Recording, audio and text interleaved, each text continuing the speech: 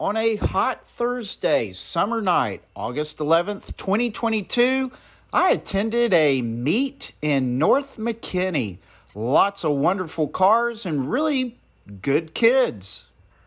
It was an ominous full moon night, and we were having so much fun until these guys showed up. Hey, hello, all you wonderful car fanatics out there in YouTube land. I am Burke. You're watching Road Odyssey. Please subscribe down below. I would appreciate that very much. And this video is in reference to uh, possibly a park up front in a Facebook event that was held in McKinney, Texas. So that's kind of a North Texas, definitely North Dallas area. And I just happened to be across the street off 75 Central from this event, and I kept seeing all these cars and motorcycles, you know, going on the to the this great big parking lot on the other side of the highway, and it's like, uh, eventually, I finally looped over there and to see what was going on, and it was a fairly good sized event. Like I said, a lot of motorcycles, uh, BRZs, 86s Mustangs, Challengers, uh, pickup trucks, all kinds of stuff was out there. Really, really cool cars and very, very nice people. Of course, they were all the young crowd and they were doing all the young crowd stuff, which I don't mind. Um, you know, they're not hurting anybody or doing anything all that terribly nasty wrong. Um, but I do have a few opinions that I'd like to insert into this video. And I apologize for such a long introduction, but I just got to let you know what I think. So, anyway, let me go ahead and get into this. Here we go. I'd like to start the video just looking around. No, no, no. Got to focus on the cars first. Nice Civic Type R. Very cool C5 Corvette. BRZ GR86, very nice cars. Of course, there are always the Mustangs and the Camaros and all that stuff. Lots of nice motorcycles out there. Enjoyed looking at those. They were pretty fun. And there was this uh, Challenger, Kia Stinger, right next to it, I guess.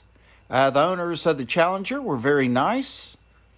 And, you know, there's just all kinds of really cool cars out there and pickup trucks.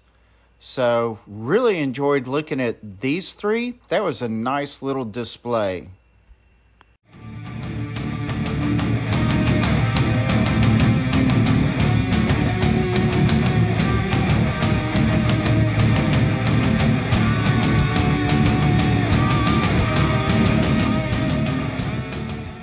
This seemed to be the main party truck, and it was wonderful. I was lucky enough to capture some video clips of burnouts. So, first off were the motorcycles. I seriously failed on getting some of these guys. You can see where they did do their burnouts, but let's move on to some that I did capture.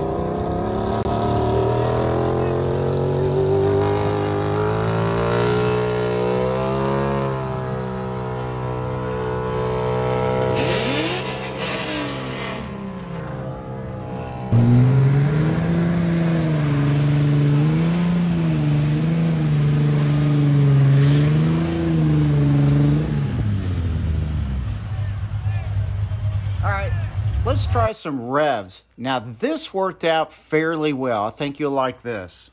Let's begin with this interestingly wrapped BMW. It's pretty decent.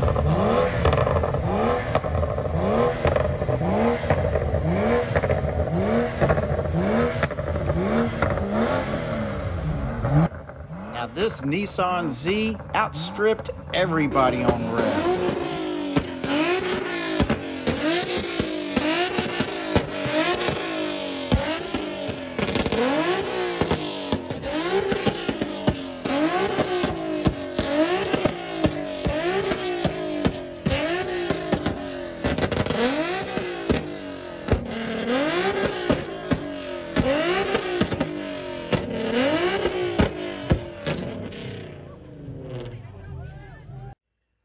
All right, I hate to bore you guys, but let's talk a little bit about safety.